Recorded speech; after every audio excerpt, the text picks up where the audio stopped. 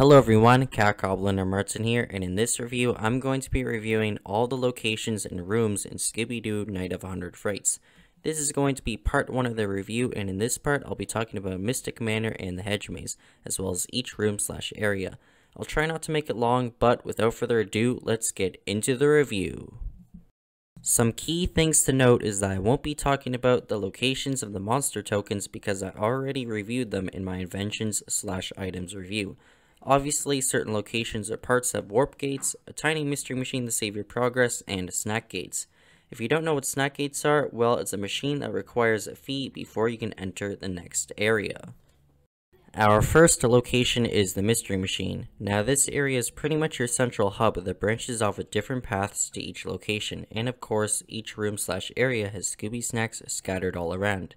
Here at the Mystery Machine, there is the front entrance to Mystic Manor with a snack gate in front of it. Smuggler's Cove is to your right, while the Hedge Maze is to your left, and you will need keys to unlock them, which you can get with the shovel and a double jump springs. There is a path that leads you to the Mystic Playground, and on the side of Mystic Manor, there's the entrance to the Monster Gallery. Also, there is a fountain, the hole that Shaggy fell in, obviously the Mystery Machine, and the Groundskeeper hangs around the front of Mystic Manor when you get the shovel and when you beat the game. Next location is Mystic Playground, and it features a slide, tire swings, trampoline, sandbox, seesaw, some platforms, a tire swing attached to a propeller, and an ice rink. This area is pretty much a room full of free Scooby snacks. The Gargoyles monster token is also here, and the Groundskeeper is also chilling near the entrance. Our next location is the Monster Gallery. In this room, you can use your monster tokens to view all 21 monsters down the long hallway. There's also a machine near the entrance where you can view concept art and cutscenes. The first major location is Mystic Manor. The monsters that you encounter here are the Headless Spectre, the Creeper, werewolf, the ghost of Geronimo, witch, lots of ghosts, zombies, the witch doctor, two gargoyles, a tar monster, three cavemen, spiders, rats, bats, and the Black Knight at the end. Our first area here is Clamor in the Manor parts 1 to 4. The first room is pretty basic. You make it to the second floor, grab the key, and the door to the hallway will open with a lot of bats flying out.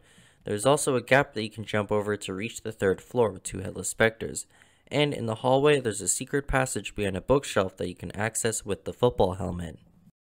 Now, I already talked about Clamor in the Manor Part 2 in another video, but when you first enter here, the creeper does not pop out of his moving picture until you acquire the football helmet. The middle fireplace leads you to a secret back room, while the fireplace to the right leads you to the other room quicker. Right! Endless Spectre!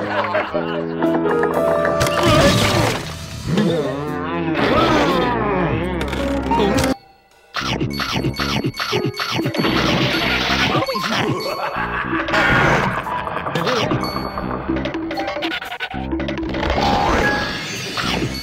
Part 3 is a large dining room with lots of gaps. There is a fireplace that shoots out fire, a large gap that you can walk around, and lots of patrolling werewolves and headless specters.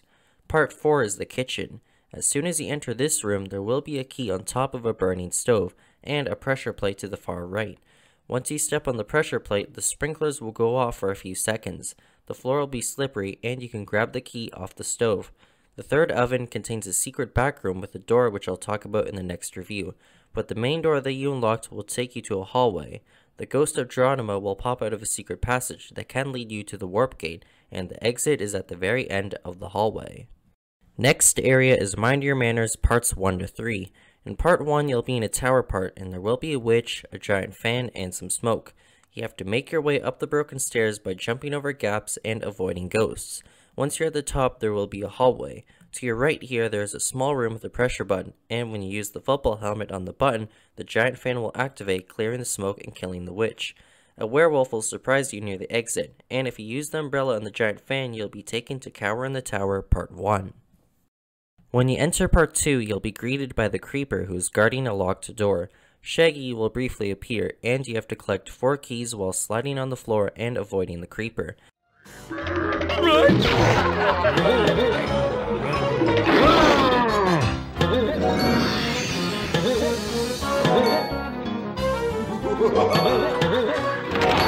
Once you unlock the door, you hop onto a floating table which will bring you to a secret passage that leads to a landing with two headless specters. and then you hop onto another table that takes you to a long hallway.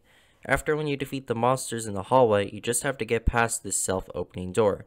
You'll end up on the top landing, take the stairs to the left, and you'll reach a small room with the exit door. In part 3, you're in a small room, but as soon as you leave, a bookshelf slides in, preventing you from turning back.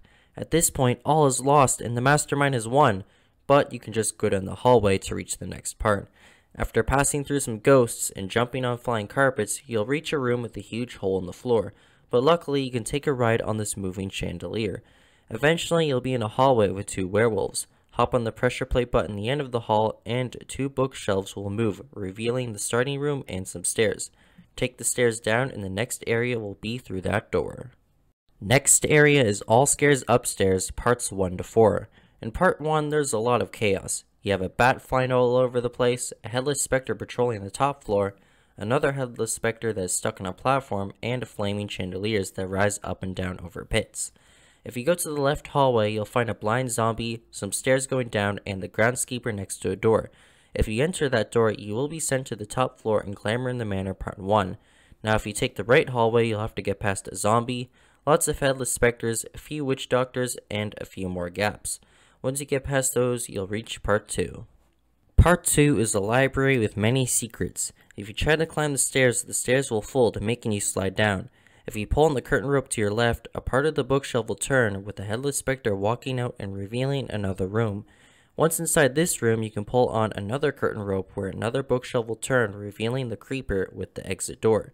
If you have the suction cups, you can make your way up the trick stairs to a hallway. Bash the railing in the middle part with the football helmet, swing on some chandeliers, and you'll reach a secret room. You can also climb on the bookshelf in the middle room to reach the secret area. Hey, a monster token.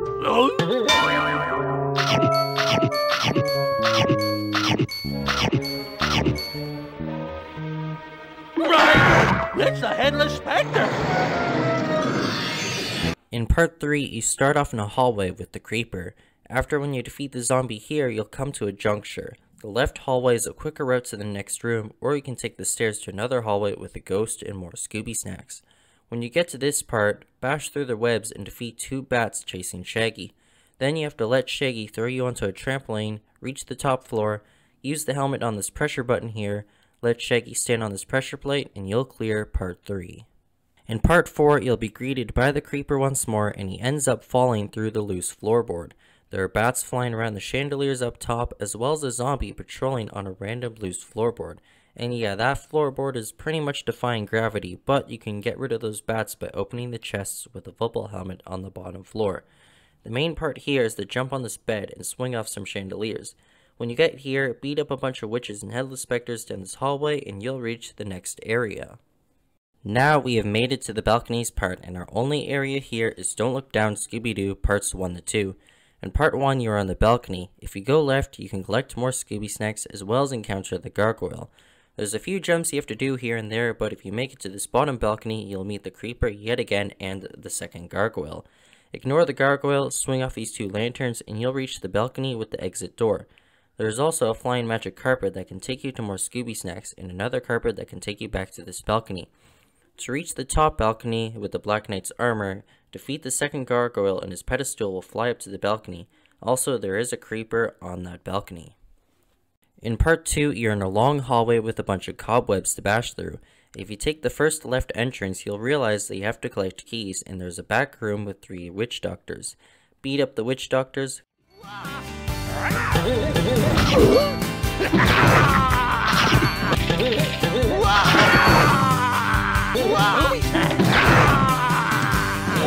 collect the last two keys, defeat the creeper again,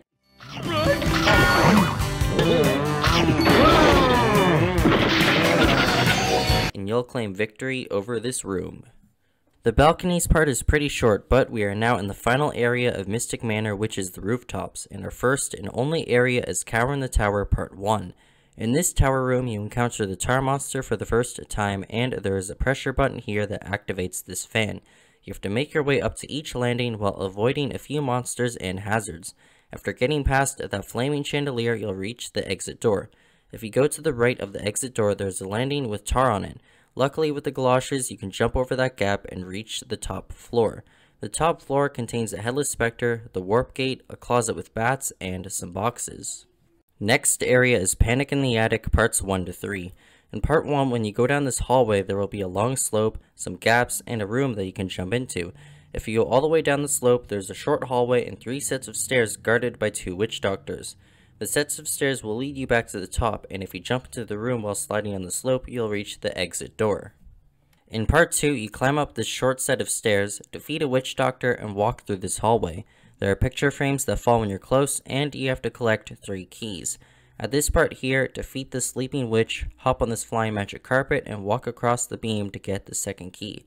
Pass through this clutter, defeat the second sleeping witch, and you'll reach this next hallway.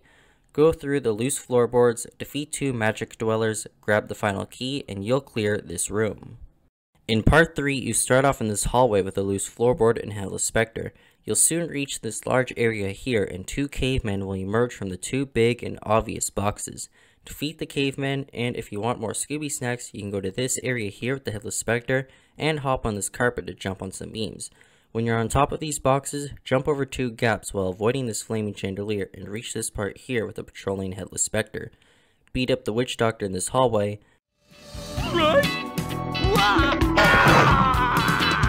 Fight the last caveman. Hop on this carpet to cross more beams for Scooby snacks. Climb a set of stairs while avoiding these wild barrels, and you'll never have to see the attic again. The last area in Mystic Manor is a dark and stormy Knight, parts 1 to 3. In part 1, you start off in a courtyard with two creepers. Defeat the creepers, use the football helmet on this pressure button to your left, which lowers a part of the fence, avoid this cloud that strikes lightning, and jump into the fenced area. At this next part, make sure to not jump on the flaming chimneys, and time your jumps carefully. When you get to here, you can see that the doors are closed. Hop on this carpet, press another pressure button, and the doors will open, leading you to the next room. In part 2, you're in another courtyard. Beat up Geronimo, get Shaggy to throw you onto this ledge, stand on this pressure plate, and a witch will drop Shaggy into a chimney. Make your way to the chimneys, Shaggy will help you collect 4 keys and more Scooby Snacks, and this room will easily be completed. For part 3, you walk down this tar slope and encounter the mastermind who spawns in the Black Knight. I will talk more about this room in a future video, but if you enter this door here, you will be sent to the top of Cower in the Tower Part 1. The last major area that I'll be looking at is the hedge maze. Monsters that you encounter here are the werewolf, zombie, witch, scarecrow, spiders, toxic plants, bats, and rats. The first area here is On Edge in the Hedge, parts 1 to 4. In part 1, you go through here, squash two spiders, jump over this gap, and hop on these two moving tables. Two werewolves will try to ambush you, there's a witch on top of that hill, then at this part, you avoid the zombie, jump over a few gaps, avoid another werewolf, and the exit gate is right there. In part 2, take the path to your left, avoid the cauldron, werewolf, and zombie, and then hop onto the floating table. Walk down this hill, jump over a gap, and you'll meet the groundskeeper. As you progress, run past the zombie, jump the gap, avoid the toxic breath from the three plants, jump over two more gaps while dodging two werewolves, and the exit gate is right up there. Near the beginning part, there is a slope and a gap that you can glide over to reach a secret path. Another secret path can be found at this part where you climb up this slope, and both of these paths contain lots of Scooby snacks. In part 3, you walk along a path, dodge 3 statues that shoot arrows, and this one scarecrow. There is also a hill that contains 2 cauldrons, a zombie, and an entrance to another area which I'll talk about soon. Do some parkour jumps here, walk on this tar, avoid two more scarecrows, and you'll find the next exit gate. In part 4, you'll be greeted by Shaggy, who is driving a lawnmower, and once you hop on, he'll take you across the huge thorny area. At some point, you'll have to jump onto unstable platforms and the seesaw when Shaggy goes through these tunnels. You'll have to jump over a few obstacles, cross this bridge, and make it past these two evil statues. Shaggy will say his goodbyes, and you have now reached the greenhouse. The next area is It's a Mean Greenhouse Scooby Parts 1 to 2. In Part 1, you'll walk through this area and defeat 3 rats. Take the stairs up, avoid the cauldron, scarecrow, and falling because there is a witch patrolling at the bottom. Once here, you'll dodge a firing squad of statues, some toxic plants, and zombies. After when you have passed them, grab onto this chain which activates some seesaw platforms to move so that you can get past the thorns. And here, make your way down while avoiding more toxic plants, past this zombie and you'll make it to part 2. At this part here, if you bash through those boxes, you'll find a secret path with a witch, more Scooby snacks, and some moving columns. In part 2, you walk through here, hop on a rat, avoid the zombie, and jump over the gap. Then you'll have to hop on some floating tables until you reach this part. Avoid the cauldron, and then the rest of the part is all parkour jumps while avoiding a rat, zombie, and two scarecrows. Next area is Chills and Spills on Haunted Hill, parts 1 to 3. In part 1, you will be greeted by a passive werewolf. If you continue to go straight, there is a zombie on a hill and two scarecrows will drop down from the trees. You'll want to take the right path where you have to jump over gaps and avoid swinging tree branches. At this part here, there will be thorn bushes, some cauldrons, and two werewolves will try to ambush you, but you can just jump over them. Continue going down this path, avoid more tree branches and the spider, and you'll reach the next exit gate. Also at this hill part, you can trap the zombie in a bubble and hop onto the tree, but I also find that you can get to the trees by jumping on this arrow sign, and the trees here contain lots of Scooby snacks. In part 2, after when you take a few steps forward, two zombies will try to jump you, but you can easily outrun them with supersonic speed. Here, you can avoid some statues and another zombie. Hop on a bunch of floating tables and you'll reach the exit. You can also use the scarecrow at the end to reach a series of unstable platforms that contain lots of Scooby snacks. Part 3 is where Weathertop, I mean Haunted Hill, resides. At this first part here, dodge a toxic plant and zombie. Then, before you climb up the hill, you'll have to dodge a statue, spider, and bat. As you make your way to the top, get past these platforms, jump over a gap, dodge rolling boulders, avoid scarecrows, jump over more gaps, and hop on these floating tables. Once you're at the top, you will of course find the football helmet, and if you enter this cave here next to the floating tables, then you will be sent back to On Edge in the Hedge Part 1. Now to reach the next area, you take a left here near the beginning, knock out the witch, make your way down, ground pound on this pressure plate, and you have reached the next big area. The second area on this map are the sea cliffs. Monsters that you would encounter here are the caveman, ghost diver, sea creature, tar monster, gargoyle, flying fish, and lots of crabs. Our first area here is Scared Stiff at Skull Cliff parts 1 to 4. In part 1, make it past the caveman, jump over here, and press this button which activates the pulley system making some lifts move. After taking the lift, defeat the second caveman, go down here, knock out some ghost divers, and press another button which activates the lift near the exit. Make your way back near the beginning, walk down here, take the lift, and there's the exit. Part 2 is very chaotic. You have to jump on unstable platforms, dodge falling rocks, cross this dangerous bridge, fight a sea creature, and dodge the same hazards again. Before you reach the exit gate, you have to get past another tough sea creature.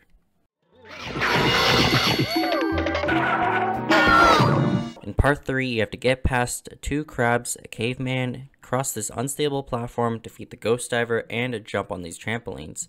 Eventually, you'll ride some lifts, and the exit gate is right there next to the ghost diver. Also, if you press the button down here and the one up on this part, then you'll activate another lift which takes you to this part where you'll find a sea creature eating some Scooby snacks.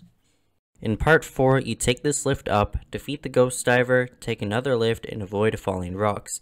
There is also an alternate route where you can glide over to here, press this button, and take another lift. Now, as you continue, walk across moving seesaw platforms, beat up this tar monster, and jump onto more seesaw platforms. Once here, jump onto this very safe seesaw platform. If you go left, you'll jump onto two trampolines, surprise the tar monster, and you can use the umbrella to get to a part with more Scooby snacks. Now, as you continue, take a lift, defeat two ocean dwellers, and enter Skull Cave. Once in here, jump across some tilting rowboats and you'll reach the next area. You can also ground pound on this pressure plate to drain some of the cave to collect more Scooby snacks. Next area is Misbehaving Cause a Cave in parts 1 to 3. In part 1, the exit gate is at the end of a slope and has 4 locks. You're going to have to slide on the ice, turn those sea creatures into seafood, collect all the keys,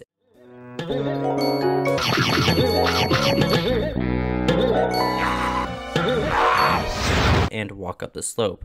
Also, if you walk up on this path here and fight all the gargoyles, then you'll reach a shortcut entrance that takes you back to the top of the hill and on edge in the hedge part 3.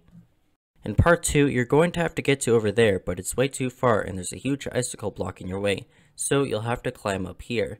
There's this little section here where you can get more Scooby Snacks, and you can ground pound on this pressure plate to get back. But besides that, use the football helmet on three icicles, which knocks them down so you can hop on them. Fight the caveman, get back down there, do some parkour jumps, get past the ghost diver, and you'll reach the next part.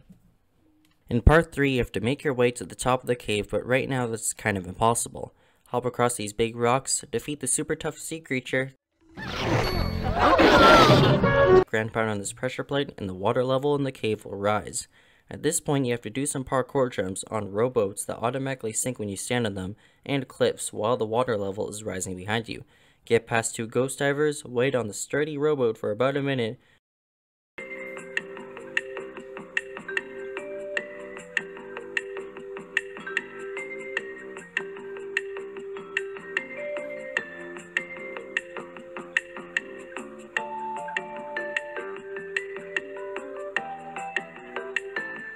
walk up this cave ramp with a ghost diver, and jump on more sinking rowboats. You can find the Sonic enhancement here. If you continue right, you'll find a sea creature in a box with lots of Scooby snacks. But over here, you'll find another ghost diver who is patrolling in front of the exit gate, and then you have cleared the Sea Cliffs area. Our final area on this map is the graveyard, and I wonder what kind of monsters you would find in a graveyard. Oh, let's see. Zombies, undead werewolves, spiders, ghosts, toxic plants, witches, gargoyles, tar monsters, and the green ghost at the end. Our first area in the graveyard is a tight space for a grave plot, parts 1 to 2. In part 1, you'll be required to collect 3 keys that hop in and out of these holes on the path, and there are ghosts that patrol in and out of the mausoleum. Once you get all 3 keys, you make it to the next part, but be careful because there is a zombie that will try to ambush you. Also, there are Scooby snacks on top of the mausoleum, and this is the only area where you can't take the entrance back, meaning you can't go back to misbehaving cause a cave in part 3. In part 2, you have to unlock the exit door by pushing all 4 pressure plates, which is impossible because they all need to be weighed down. You can hop on these moving blocks to reach this tower where you can knock down an urn to weigh the pressure plate. Knock down 2 more urns with the football helmet,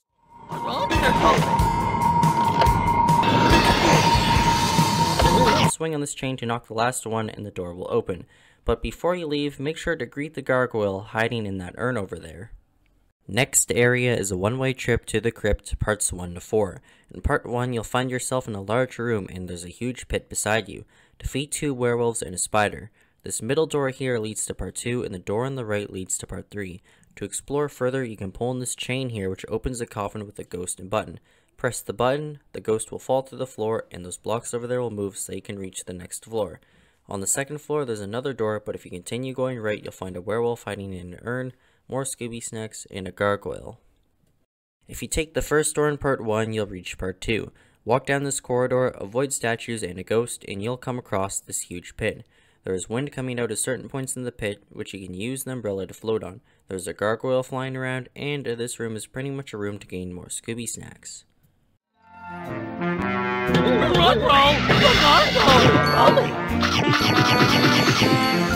The third door up here in part 1 takes you to part 4.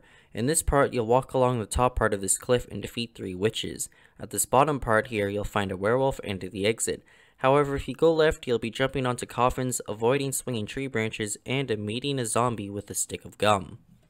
The second door in part 1 and the exit gate in part 4 will take you to part 3.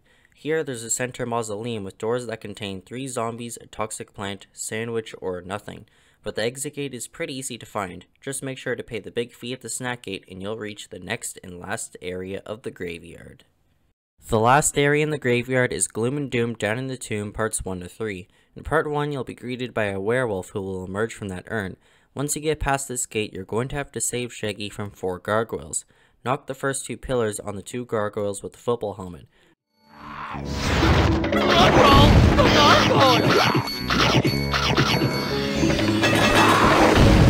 Ground pound on this pressure plate which raises the second swinging pumpkin, dodge the first pumpkin, and knock down the last two pillars.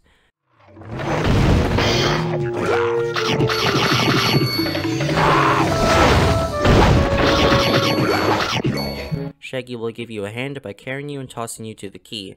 Watch him get chased by a witch who ends up dying and you can continue down the path to the exit gate. In part 2, you'll climb up this hill and if you continue left, you'll find 4 zombies that pop out of these mausoleums. There are also pressure plates that open some coffins up top revealing boxes of Scooby snacks or ghosts. But anyways, defeat all the zombies and the exit gate is to your left. Now, if you go right, you can visit these coffins, or you can jump this huge gap, go through this door which takes you back to a one-way trip to the crypt part 1, and collect more Scooby snacks. In part 3, walk down this hill and you'll soon realize you have to collect two keys. The keys can be found at these parts where they're next to an urn containing a ghost. Walk up the hill, defeat 6 tar monsters, and once you enter the gate, you'll encounter the mastermind for the second time, who spawns in the green ghost. Now, I'll talk more about this part with the green ghost in a future review, but if you jump over this green pit and take the gate, then you'll be sent back to the mystery machine. So everyone, those were all the rooms slash locations in Mystic Manor and the Hedge Maze. Shout out to Outlaws for Life Games and Misc who suggested this review. Please like and subscribe and stay tuned for the next part or another review.